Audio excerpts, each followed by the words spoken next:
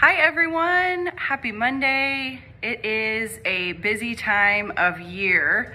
I found out that we have 40 kids signed up for Vacation Bible School this coming week, which will be at Hope UMC tomorrow until Friday.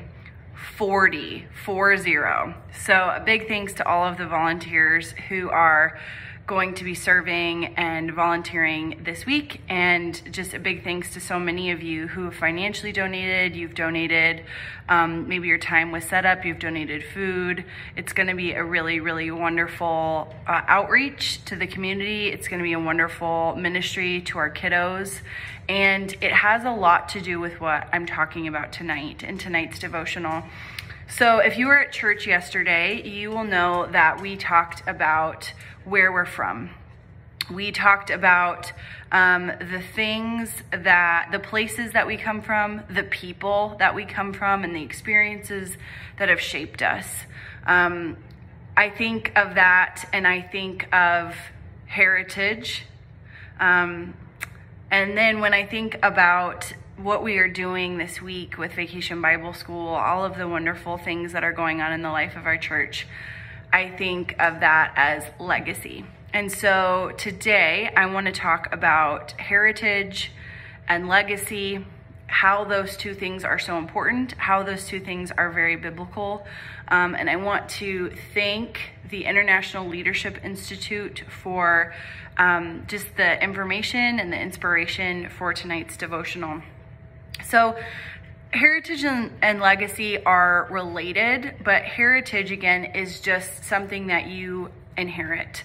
Um, it's the thing that someone before you has passed on to you. So, we can inherit um, our genetics, we can inherit land, we can inherit property. Um, we can inherit all kinds of amazing quirks from our family of origin. Uh, heritage is where we come from. So, you know, you think of heritage tours and you think of doing an Ancestry.com uh, research project and discovering that you have a lot of family from Ireland. And so you're going on a heritage journey to Ireland because you know that you have family there. Um, I also watched a very moving uh, video on Queen Latifah, uh, who is an actress. She is a black actress in Hollywood, and she discovered who freed her ancestors. She actually read the, the emancipation document, the emancipation document that freed her ancestors from slavery, making them free people. And it really was emotional because, again, that is her heritage. And so our heritage is so important because it is a part of us and it is where we come from and who we come from. But legacy, legacy is what we are going to leave or pass on to someone else. I think of legacy when I think of all of the children and youth ministry programs that we're doing at the church because we want to continue the legacy of our church, Hope United Methodist Church, all of the churches in Billings and throughout the world, we want them to have a wonderful place to be their spiritual home when we're gone and we have the kiddos that grow up um, and they take over. So the children are the future of the church and our children are so important and we have a divine calling to leave a legacy for them. Um, when I think about heritage, I think about all the way back in Genesis chapter 12 when Abraham receives the call. The call of Abraham, the Lord said to Abram, before he got his name changed, Go from your country, your people, and your father's household to the land I will show you. I will make you a great nation and I will bless you. I will make your name great, and you will be a blessing. I will bless those who bless you, and whoever curses you, I will curse. And all the peoples on earth will be blessed through you. So Abraham was obedient.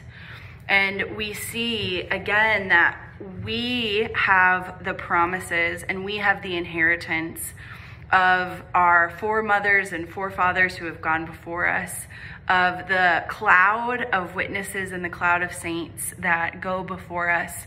Um, the heritage that we have in faith goes all the way back to the Old Testament. Um, and we knew that Abraham trusted in God to fulfill the, the covenant promise of God. And Abraham was counted righteous. Um, and this was later realized in the final fulfillment of the covenant, which is in Jesus Christ. And so our heritage gives us strength, it gives us clarity, hope, encouragement, and points us back to our foundation. Again, our roots. That's kind of what I associate heritage with is our roots.